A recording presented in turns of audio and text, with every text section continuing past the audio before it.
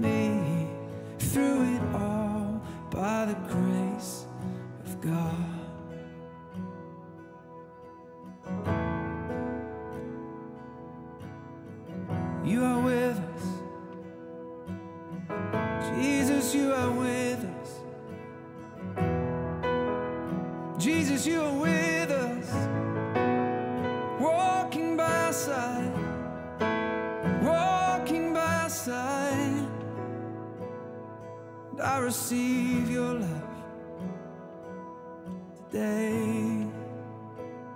I receive your love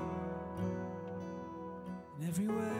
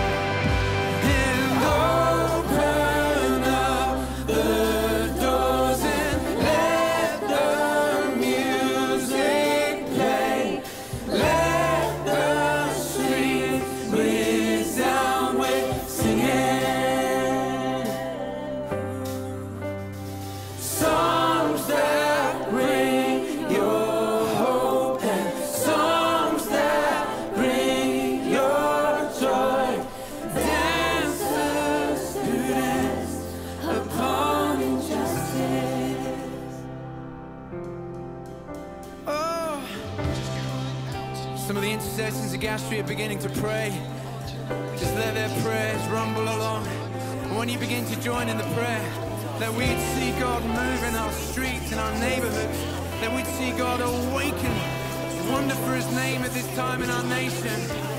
Come on,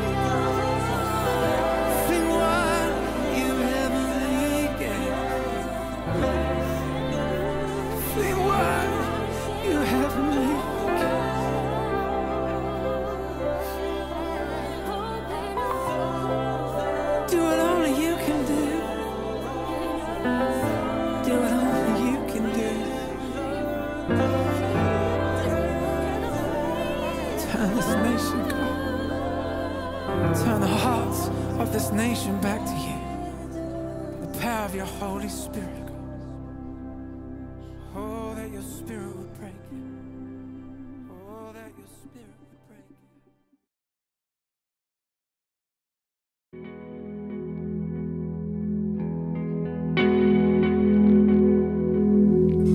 Well, welcome to St Andrew's Church Online.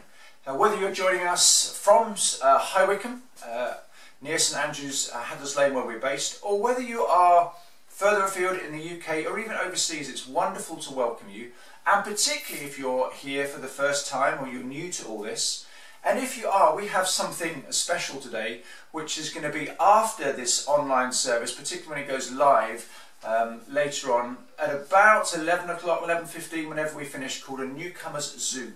And we'll tell you more details about how you can engage with that and enjoy that later on. Yeah, that'd be great. Looking forward to meeting you on, on that later. So during our service this morning, we're going to be hearing later on from Henrietta Blyth, who is um, CEO of Open Doors. It was great to have Henrietta speak at a women's breakfast a few months ago at St Andrews. And we really um, appreciated what she had to say. She had some great stories to tell us. So we're looking forward to hearing what she has to say today. And um, I'm sure it would be challenging, but it would be great for us to know how we can support Christians in um, situations around the world where they're being persecuted and hit even harder by COVID 19 than we are here.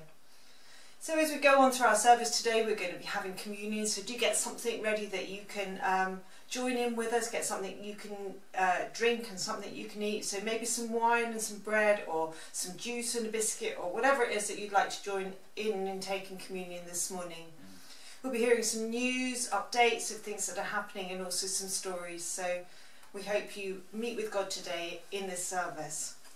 And as we begin, we're going to do something a bit different in terms of the song we've got. It's going to be sung by Beth, uh, and it's a song some of you will know, some won't, by Lauren Daigle. And uh, it's, it's called You Say, and it's picking up on who God says we are, that even though we might feel weak, He is strong. And it's a great preparation for communion as we have this in a moment.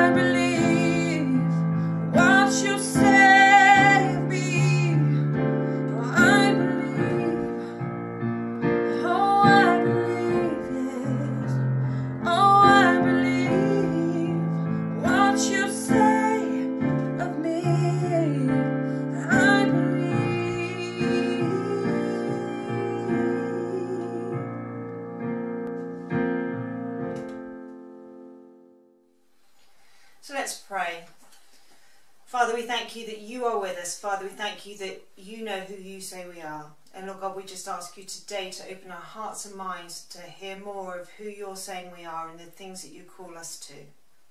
We just say, Come, Holy Spirit. In Jesus' name. Amen. So we wanted to uh, say a big thank you to some people. Thank you to those of you who have volunteered to join our gardening team to help to look after the, the church uh, grounds during this time uh, when others are unable to do that. So there's a picture of them. Thank you, you guys, and a big thank you also to uh, Bob, who's been uh, volunteering in that way in cutting the grass and things during this time of lockdown when the grass goes on growing. And uh, you may have heard that this coming week, churches are now uh, allowed to open for private prayer. And uh, what we are organising is that this coming week, we're going to open up the church for an hour of supervised prayer, where we're going to invite not just the local church members yourselves who are watching, but anyone in our community. We'd love to invite them uh, for reflection, maybe to work through some of the things that they are grappling with at this time, and just a chance to come before God. So we're going to have that from 12 to 1, Monday to Friday. And uh, we particularly need help for anyone who can be a volunteer at that time, whether it's for half an hour or for an hour between that time, any of those days. If you could email the church office and say, I'd love to help just to enable that to happen. We don't know what the response will be, but we want to give it a try. We're going to move on now and take communion together. So before we do that, let's have a, a few moments when we're able, individually, each of us, just to ask God to uh, prepare our hearts and our minds so that we're ready to, to take communion together. So you might want to take a few minutes now, just think, you know, Lord God, we ask you to search us, to show us, is there anything in our hearts, in our minds that we need to put right with you now? Just lead us and show us what those things are.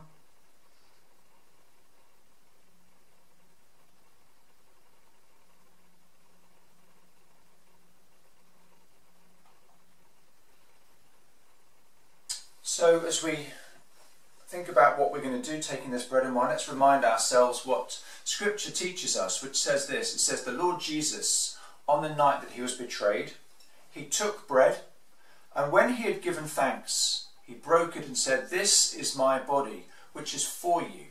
Do this in remembrance of me. And in the same way, after supper, he took the cup, saying, This cup is the new covenant in my blood. Do this whenever you drink it in remembrance of me. For, when, for whenever you eat this bread and drink this cup, you proclaim the Lord's death until he comes. And let's pray the prayer that Jesus taught us to pray. The words will be on the screen for us. Our Father in heaven, hallowed be your name. Your kingdom come, your will be done, on earth as in heaven. Give us today our daily bread. Forgive us our sins, as we forgive those who sin against us. Lead us not into temptation, but deliver us from evil. For the kingdom, the power, and the glory are yours, now and forever. Amen. And we break this bread to share in the body of Christ. Let's say together, though we are many, we are one body, because we all share in one bread. So the invitation is to you to come to this table, not because you must, but because you may. Not because you are strong, but because you're weak. And come not because any goodness of your own gives you the right to come, but because you need mercy and help. We're now going to share in this bread and wine, and maybe you want to do that either on your own if that's where you are, or with somebody else, using whatever you have. So we're just going to do that now. Debbie, the body of Christ, keep you in eternal life. Amen.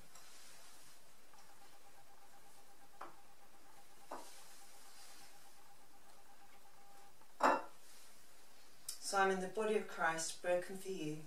Amen.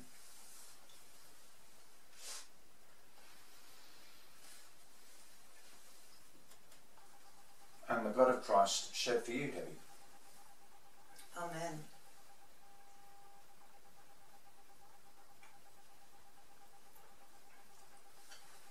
And the blood of Christ keep you in eternal life.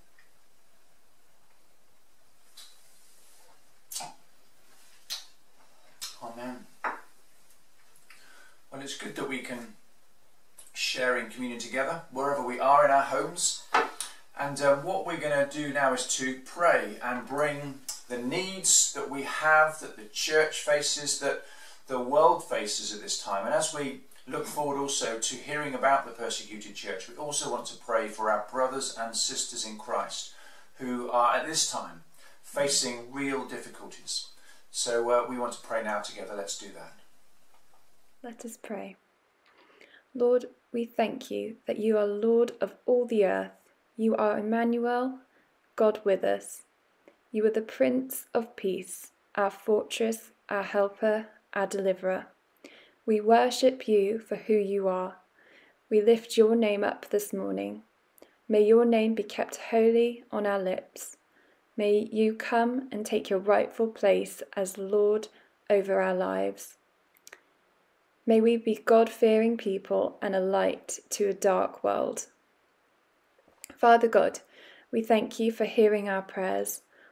We thank you that as lockdown has eased, that we are able to begin reuniting with loved ones.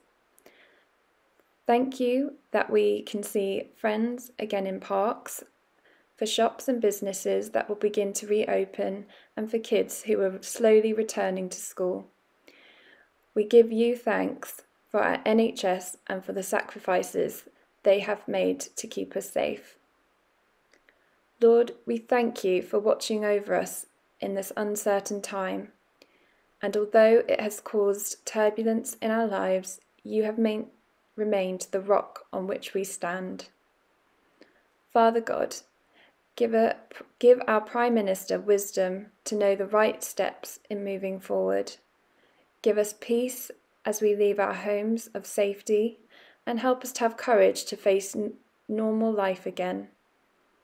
We lift up those who may be anxious of change and of the unknown, Lord. We ask for comfort and a steady hand to guide them. We turn now to think of our persecuted of the persecuted church as Henrietta brings a message to us this morning. Help us to be open and willing to learn. God, we lift up our brothers and sisters to you in our prayers and ask you would strengthen them. Thank you that you promised your Holy Spirit to us in times of trial. We ask, Lord, that you would strengthen our brothers and sisters, strengthen their hearts, give them your words, give them peace which surpasses all understanding. Use all they do for your glory, Lord. Help us to learn from their bravery and be bold in our faith towards others. Lord, we lift up to you this Black Lives Matter movement. Lord, we know that we live in an unjust world where racism does happen and happens in a place where we may not notice. Lord, we pray for those who have long awaited this time and have prayed for an end to their suffering. We ask, Lord, that their voices would be heard. Help us to comfort those who mourn. Give us compassion towards those who suffered, who have suffered. Help us to hear their cry and allow them space to mourn. We pray for those who, in their anger, have turned to violence. Lord, we ask for their forgiveness. Help us not to retaliate by hardening our hearts. We ask that you'd give us wisdom in knowing how to pray and respond in love. In the name of Jesus, Amen. So thank you, Annie, for uh, those prayers. We wanted to uh, draw your attention to a few things that are happening over the next few weeks, and uh, one of those things is starting this week on Wednesday. So this Wednesday we have our first online marriage course starting, and this is um, a great opportunity for you. You know, you may feel there are many other things that you can't do at this time. You may have more time available, or you may not, but but it's the ease of which you can do this in your own homes. So set aside some time to uh, to do this course. It's a great course and an opportunity to, to talk to uh, your partner and to be able to really put into your marriage and make it stronger as you move forward together. And just uh, a couple of things over the next few weeks. Next Sunday is Father's Day. Uh, do join us for that. And then the following week, on Sunday, the 28th of June, we are joining with churches across High Wycombe for Love Wycombe online. Uh, we are really looking forward to that. And um, you can be involved if you like to with the uh, worship and singing. They're forming a choir, and uh, I think anybody is allowed to join that. And you could send in uh, your own uh, contribution towards a song, which will uh, join as a, a, choir when that's put together. So uh, do send in. If you haven't had the email about that, you can email the church office to find out how you can get involved. So you'll be joining Simon? Yeah, that would definitely be my thing. Not.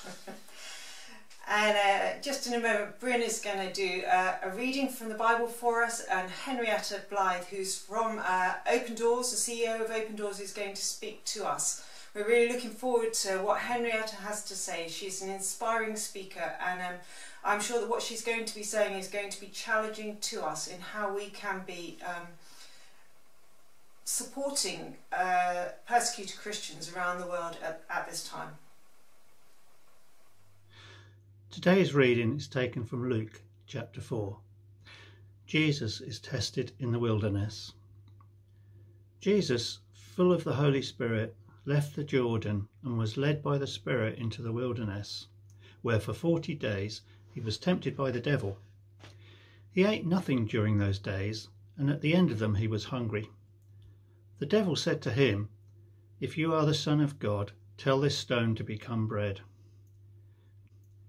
Jesus answered, It is written, Man shall not live on bread alone. The devil led him up to a high place and showed him in an instant all the kingdoms of the world. And he said to him, I will give you all their authority and splendour. It has been given to me, and I can give it to anyone I want to. If you worship me, it will all be yours. Jesus answered, It is written, Worship the Lord your God and serve him only. The devil led him to Jerusalem and had him stand on the highest point of the temple. If you are the Son of God, he said, throw yourself down from here, for it is written, He will command His angels concerning you to guard you carefully. They will lift you up in their hands so that you will not strike your foot against a stone. Jesus answered, It is said, Do not put the Lord your God to the test. When the devil had finished all this tempting, he left him until an opportune time. Hello, my name's Henrietta Blyth. I'm the Chief Executive of Open Doors UK and Ireland, and it's a very great pleasure to be with you all today. Imagine you wanted to destroy the global church. How would you go about it? Just think about that for a minute. If you wanted to eradicate Christianity completely from the face of the planet, how would you do it? You might decide to imprison and torture all the Christians. That's what's going on in North Korea and has been for the last 18 years. North Korea remains, according to Open Doors research, the most dangerous country in the world for Christians. Or you might decide to go after the church leaders and close all the churches. That's what's been increasingly happening in China over the last couple of years. Or you might decide to burn down all the churches, destroy all the Bibles, drive out all the Christians, and use the statues and other Christian artifacts for shooting practice.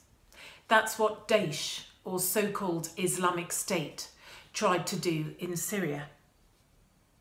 Of course, you might also assume that the fear of these actions would be sufficient to intimidate people so much and put them in fear of their own lives and the lives of their loved ones that they would not practice Christianity anymore. After all, fear is an extremely powerful deterrent. Or you might big up the dominant religion in the country so that it became incredibly shameful for anyone to convert to Christianity.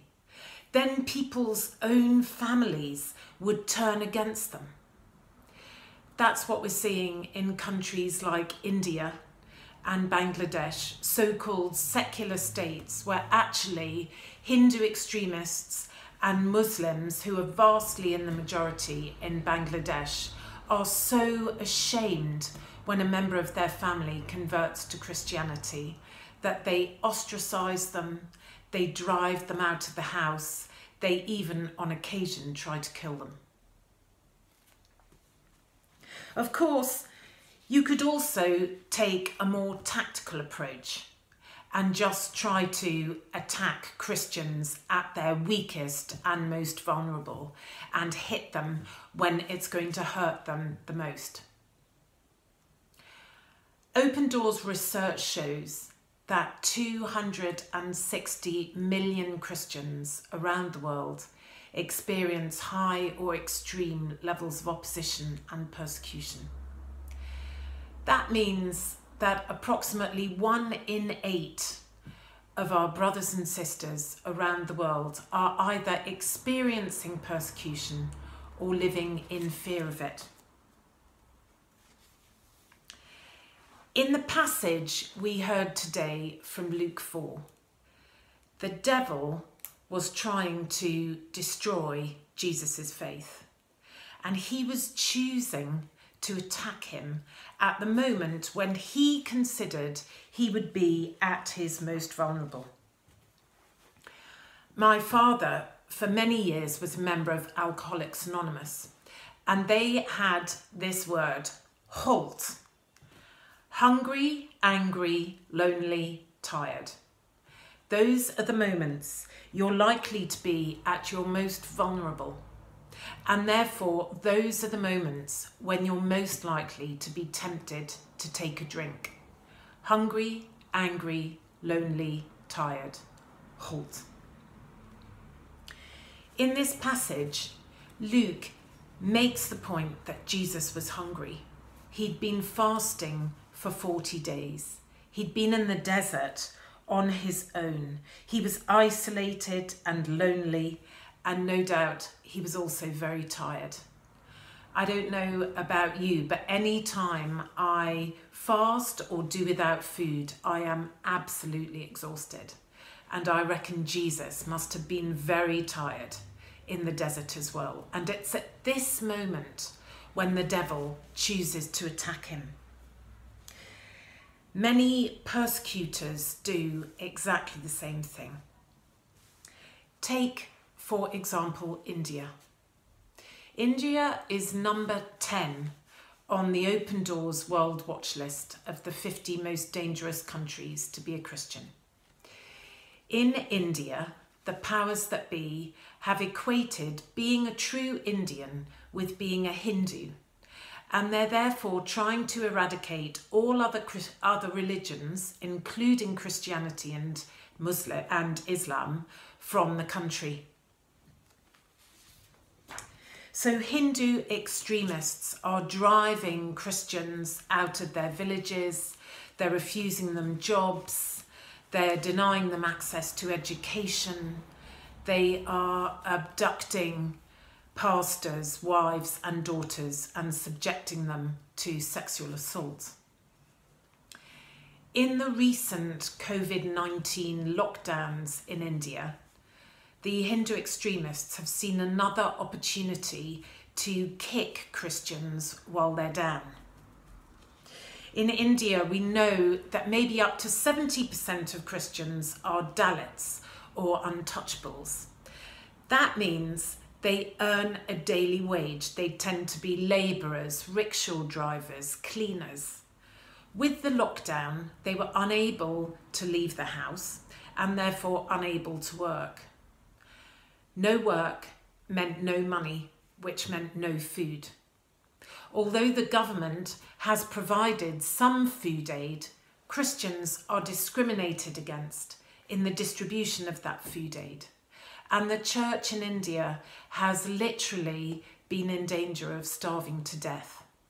There's been a knock on effect for church leaders who count on the weekly collection plate to get their income.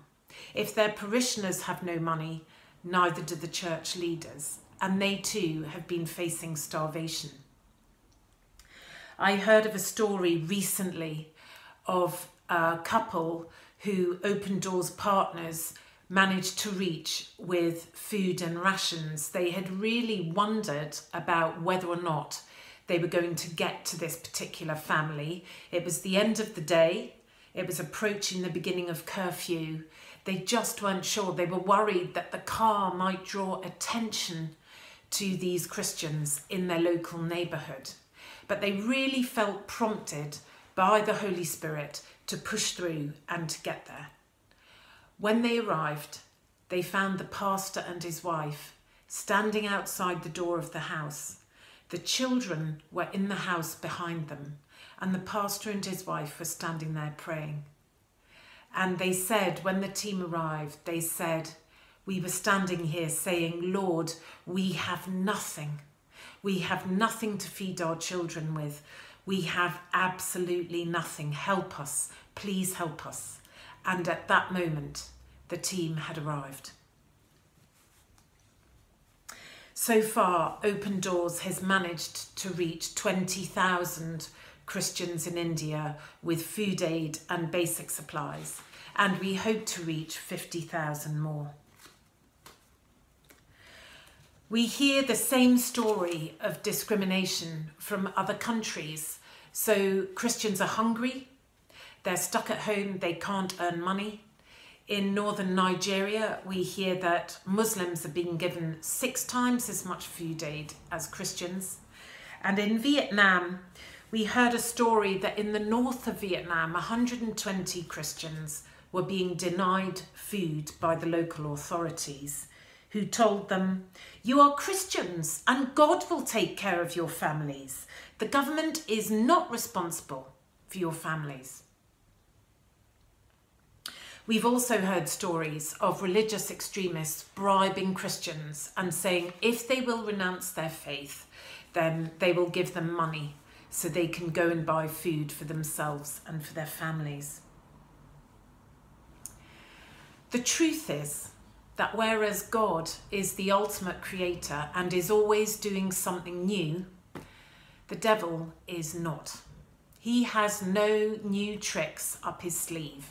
He uses the same tactics now as he used in the Garden of Eden and as he used on Jesus in the desert. And this is his first one to attack us, to attack our brothers and sisters when we are physically at our weakest, when we are hungry, angry, lonely, tired.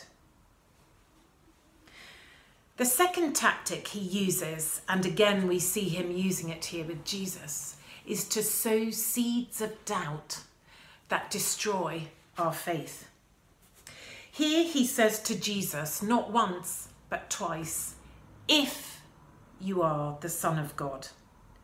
He pushes Jesus to make him doubt his God given identity. He says, If you are the Son of God, turn these stones into bread. If you are the Son of God, prove it by throwing yourself off the temple, and God will look after you. The devil repeatedly challenges Jesus' faith and understanding of who he is, his God given identity, and of who God is. Jesus is on his own in the desert. He was completely isolated, and there was nobody to reaffirm his faith and identity in God. My friend Mudge was imprisoned in Iran for becoming a Christian. And he was kept in solitary confinement for a month in a room that was two metres wide by six metres long and just had a pillow and a blanket. He had nobody to talk to, no telephone, no online resources. It rather puts our lockdown our lockdown experience into perspective, doesn't it? While he was in solitary confinement, Mudge told me that it wasn't possible to think in a positive way. It was like his thoughts became chains around him. He said that he had tortured himself with questions Does God really love me? Has God really accepted me? Am I really a child of God? Am I going to heaven? This is just a classic tactic of the enemies. He gets us on our own, he gets us isolated, and then he fills us with doubt. In the end, Mudge cried out to the Lord, and without knowing he was doing so, he actually used Jesus' words. He said, Lord, Lord, why have you forsaken me? And he told me that the Lord gave him a vision. This was a vision of a group of transparent, happy, joyful people. There was no pride, there was no jealousy. They were having a wonderful time together. Mudge told me that the, the feeling he had when he saw this group was just amazing. And in the midst of the group was Jesus. And Jesus looked straight out of the group at Mudge. And he said to them, You belong to this. You are my child. You belong to these people. Mudge said this became all of his energy. It filled him with renewed hope and renewed faith. And that day they actually took him for interrogation. And he said that as he lay on the table for interrogation, he was still smiling and at peace. The third tactic the devil uses in the passage in Luke is to bribe Jesus and to try to force him to worship him rather than God.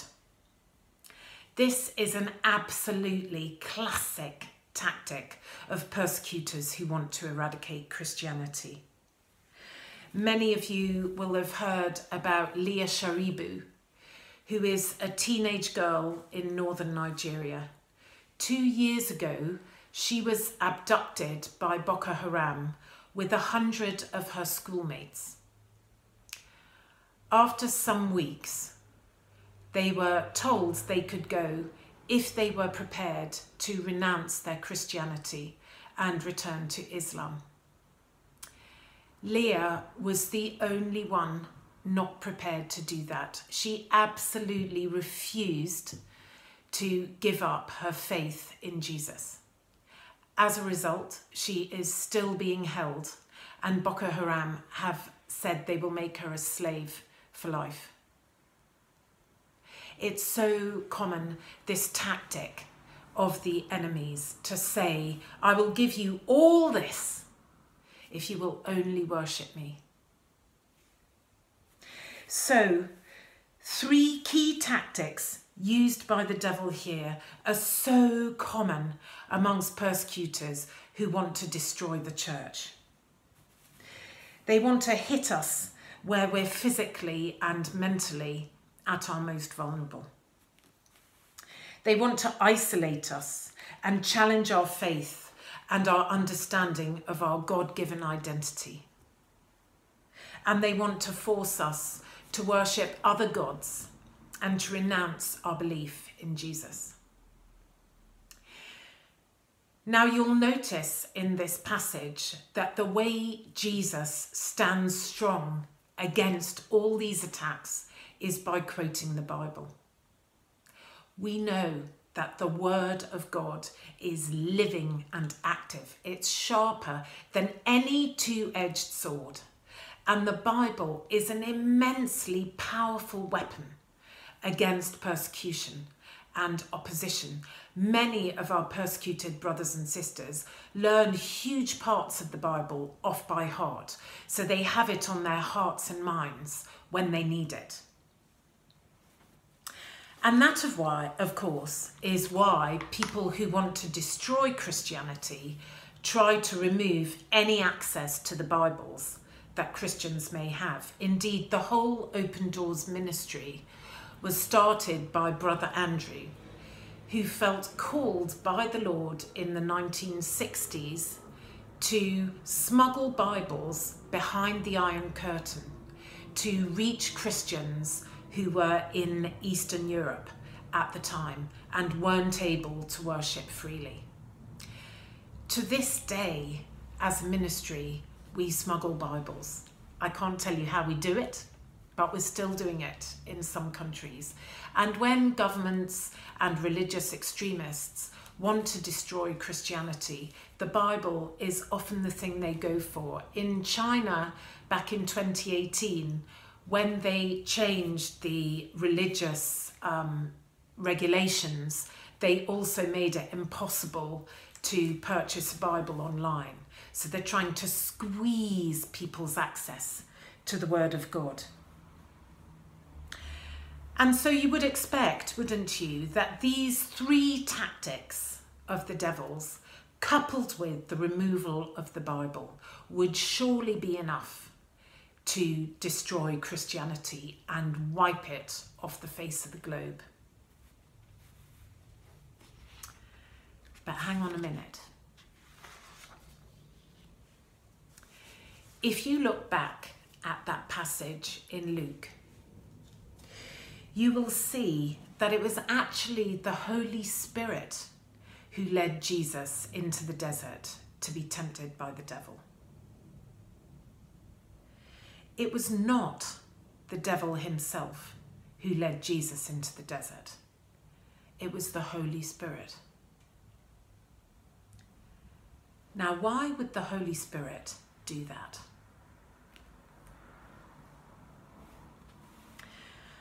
I think the Holy Spirit led Jesus into the desert to be tempted in that way because God knows that opposition and persecution, far from destroying our faith, actually strengthen our faith and our resolve to follow Him. Far from destroying the church, the fires of persecution and opposition actually prove it and make it stronger and more resilient. The early church really recognised that. In the Acts of the Apostles, we read so many stories of how those first Christians were persecuted, killed, imprisoned, tested for their faith. faith. And yet the Apostle Peter wrote to them and said, These trials have come so that the proven genuineness of your faith, of greater worth than gold, which perishes even though refined by fire, may result in praise, glory, and honour when Jesus Christ is revealed. I was amazed to discover the truth of this when I joined Open Doors as CEO two years ago. Far from destroying the church, persecution actually strengthens it and helps the church to grow. It's completely counterintuitive, isn't it? But it's the truth. One of the things that happens is not only do we as Christians need to make a very definite and intentional choice to follow Jesus or not, we have to decide is he worth it? And one of the extraordinary things is that we know he is. So our faith is strengthened, but not only that, the way we respond to the persecution is an amazing witness to others. A couple of years ago, I travelled to Egypt to meet some of our persecuted church family there. One of the things I learned was that the church had been praying for many years for change in Egypt. And when the Arab Spring happened, they were absolutely delighted.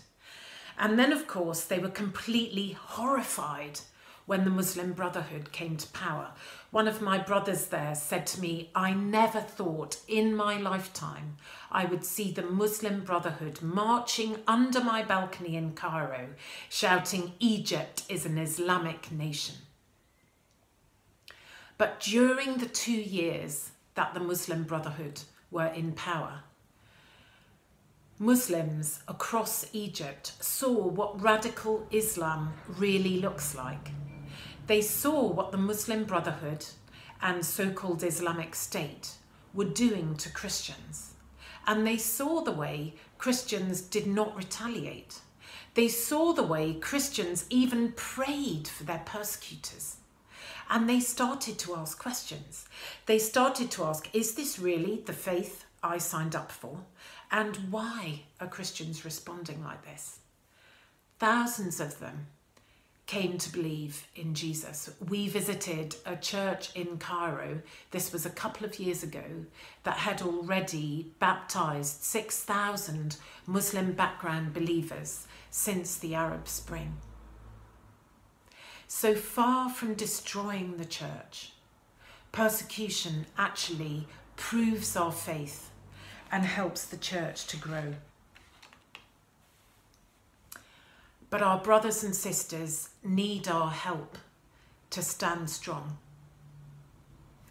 We know that risk is always a product of both hazard and vulnerability. There's not so much we can do about the hazard of persecution, although we do indeed campaign at Open Doors for freedom of religion or belief, which is actually Article 18 of the UN Declaration of Human Rights. But there is a great deal that we can do to reduce the vulnerability of our persecuted church family. We can help them stand strong by giving them food and other basic supplies when they're at risk of starving, as they are at the moment. We can help them know that they are not alone we can reduce their isolation and reaffirm for them the truth that they are God's children. We are all part of God's family and we stand with them. We can pray for them that they will not be led into temptation and that they will be delivered from evil.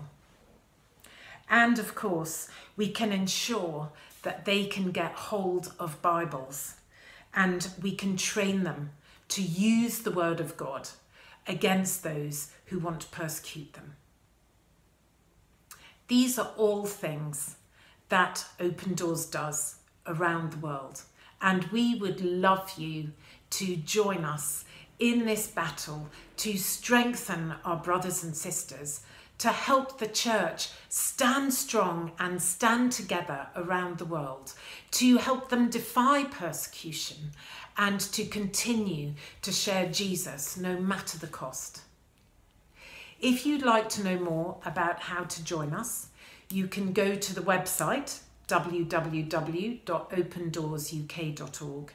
We are also running a campaign at the moment, our COVID 19 campaign, to enable us to feed more of our brothers and sisters who are desperately in need of food and basic supplies.